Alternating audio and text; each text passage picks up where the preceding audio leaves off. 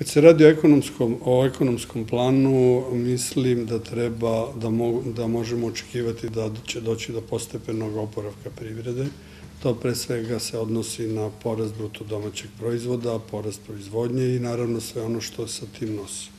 No mi ne očekujemo da taj porast bude skokovit kao što je bio skokovit pad, tako da mislim da treba biti blagi optimista, ali blagi optimista i u tom kontekstu posmatrati neku poziciju sa stanovišta plata i zarada pojedinaca.